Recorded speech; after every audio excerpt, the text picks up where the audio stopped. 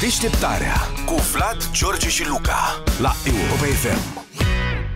Avem așa un uh, domn britanic și a tatuat uh, pătrățele pe abdomen. Da, m-am gândit și eu la soluția asta de multe ori. Problem, problem solved. Și că avea Brenciu niște tricouri cu abdomenul pictat. M-a ferit Dumnezeu să le văd. Te-a ferit? Da. da. Umbla la un moment dat și promova chiar uh, un spectacol de la sala Palatului. Auzi, dar scuză-mă, Erau tu- foarte tare. și ai văzut tricourile astea? Da. Și avea și buric? Avea și buric. Deci buricul avea și avea- păr pe abdomen.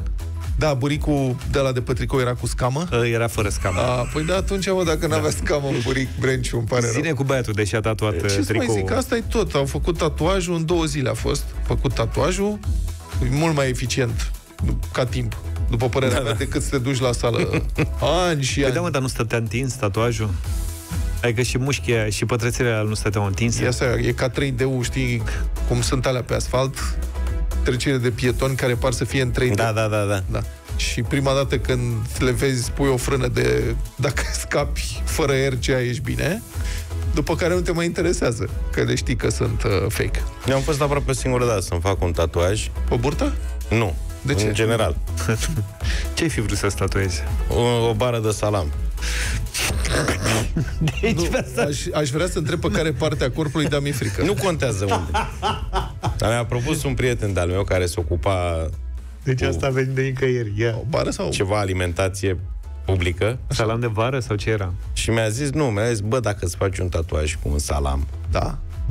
că eram fiert pe salam în perioada aia, nu eram la regim ca acum. Acum, da, da. da. Acum ți-a zice, fii trecut. atent că îți fac contract și îți dau toată viața ta mezeluri. Mezel. Dar ce salam te gândeai să pui? Da, Adică uh, un salam de vară mai salam de usuros? vară, da. Sau, Sau unul Victoria. de la uscat, babică, gen babic, știi, Băi, tare și ceva uscat. quality. Da. Că Sibiu, nu- salam Sibiu. Un salam de Sibiu, Mamă, îl dacă făceam, îmi spuneai un făceam un salam de tatuaj alb. Da, albicios, așa, cu, să, că te vedea cineva să, să-ți dea cu palma, să ia praful, știi? Da, da, da. Vezi că ai niște praf pe tatuaj, niște praf alb, ce dracu.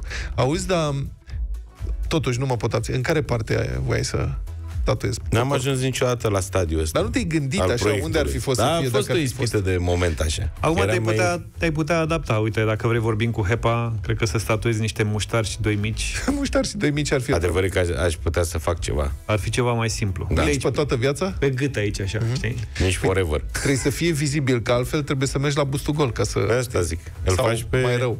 pe încheietură, pe așa cum se poartă. fă pe ceafă. Aș și vrea acum să, se și găsesc culori. Adică poți să faci muștarul galben. să găsesc culori. Practic. nu da, mă, înainte erau Și sunt astea tatuaje la- numai cu indigo. Acum Așa ai paletar. Da, și ce să vezi, sunt și lavabile. Că poți să faci și duș. Adică nu poți să să iau. fac doi mici maro cu un muștar galben. Da. Castraveciori pui A, bravo. Corect. Cum acum sunt și culori? și niște... Și o bere. Fac un de la Nu pe tot bere. spatele, dar Nu trebuie să bere, mă duc la auzi? sală să Nu extins bere. spatele. Un pahar de ZDV, roz. Și ZDV un plan depărtat așa, uh, știi? Hai că vine Pu- Paștele Blurat acum. un pic. Puțin un șarf. Da. Poți să te tatuezi cu galux, dacă Deșteptarea cu Vlad, George și Luca la Europa FM.